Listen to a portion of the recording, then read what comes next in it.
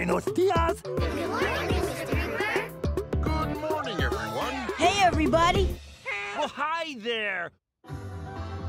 Good morning. It's June 22nd, 2024. Welcome to CBS Saturday Morning. Dangerous heat wave. Nearly a third of all Americans are under heat alerts this weekend as scorching temperatures bake the nation. We'll have the latest on the records being set and when it may all finally break. Supreme Court gun ruling. In a key Second Amendment decision, the justices uphold a federal ban taking guns away from people under domestic violence restraining orders.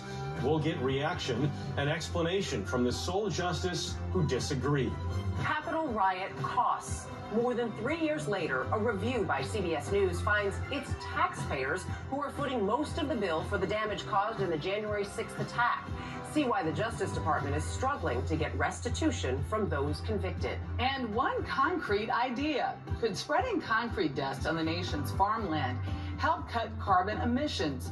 We'll take you inside an unusual experiment. They may also help improve our soil and crops. But first, we begin this morning with a look at today's eye opener. Anyone can do it. Even me? Sure, even me. All you need is long hair, makeup, and tight pants. And we can get that stuff right here in your mom's closet. Yeah, sure. That's right, Billy. Yeah. See, he saw the picture of you on the computer, and that you was going bleh when you was playing basketball. And, And who else in the world does that? her name is Mr. Big Baby Taco Derm. I want it. But she likes me best. Besides, I already got teeth. Uh, Go downstairs. but I must finish my juice box. Gracias! Nice. Oh my goodness, you are so cute. I think I will call you Juan and you Juanita. Yeah, I, I, I really um thought that the finale was awesome. No, I got everything I needed after that hug. Way to go, Eduardo! You captured the cannibal ghost! And it was the most delicious badger ever. That was amazing. Good job, Agents Puppy and Katswell. You've done tough proud. All right, I suppose I could help fix the uh, place up a little. This is nice. Everyone's being super helpful today. My name isn't really Francisco. It's Francesca. My mom wanted a girl. I found some moves. My thirst isn't on the loose anymore. I just want to thank you all for your help. Mount Bear River is flowing again. The other storm drains are painted too. And the whole Mount Bear watershed, too. I was just gonna say that. Yes, I saved the forest. You're our hero. I am feeling like me again. Exactly. Yes, more than anything. Yes, sirree, bud. This is the life. You kings and queens of Woodland Valley. Cause today is gonna be great. It's gonna be so great. I can just imagine it now. Because today is going to be a very special day today on Sesame Street. Oh, la la, I am so excited. I just know that this time I'm going to get Count Store. I think I just found what I was looking for. Try taking a dip in Big Springs, Little B. I'm sure the fish there will get you clean. When there's too many fish in the lake, the crocodiles come and eat the fish. It's the circle of life at its finest. Poola! That'd be awesome! You're really special. Any eagle can swoop and stop. I have to admit, for someone your size, you're a surprisingly good hider. Bunga, your smell must be even scarier than a snake's. That's just how Bunga smells. He's always been a bit, uh, fragrant. If you ask me, I think Bunga smells fine, just the way he is. Yeah. And in Bunga's case, he's a stinky little honey badger. Thanks, Uncle Timon. Best day ever! Oh, I agree. Agorific. It's even more awesome than awesome. Ah, yes. Odie Rose. Pretty. Glad to be almost alive. Really? Gracias.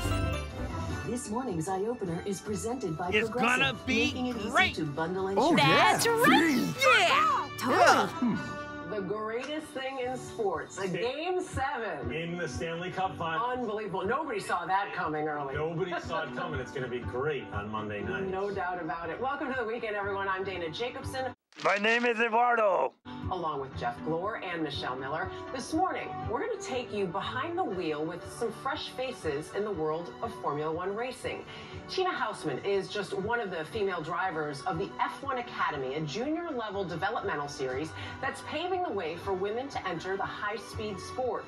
We'll see how their work in the gym, in the simulators, and on the track may transform F1 racing in just a few short years. Then we'll go to Boston to speak with a man who's been working in the field of artificial intelligence longer than anyone alive. But what Ray Kurzweil has to say about our future in his new book will surprise and even inspire you. Our conversation later on. Then we'll take a trip to the English countryside for a meal with acclaimed chef Luke Farrell. But he's not serving up English classics, rather some of the most authentic and eye-watering Thai food. Find out why he is drawn to this style of cuisine later on in the dish. Are you guys hungry? Yes. Yeah. Yes. Yes. Yes. Yeah. Yes. Yes. Yeah. A delicious carrot cake. You want to see? It was so delicious, I ate the whole thing. Almost. Ah. Now it's gone. Only the best food ever. Fresh fruit. See, Captain? Pirate Swap Day has taught us something already. Mm-hmm. Then we'll go to Portland, Oregon, to the home of Colin Meloy, frontman of the Decemberists.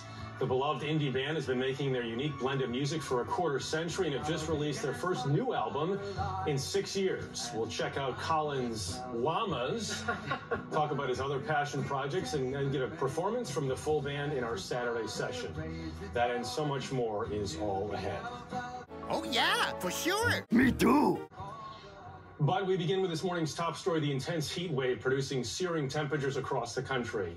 More than 100 million people remain under excessive heat warnings and advisories this weekend. The weather has already led to record setting and record time temperatures from the Midwest to the Mid Atlantic, and more is on the way. In our nation's capital, it could peak with triple digit temperatures this weekend. That would be a first for D.C. in nearly eight years. Wow.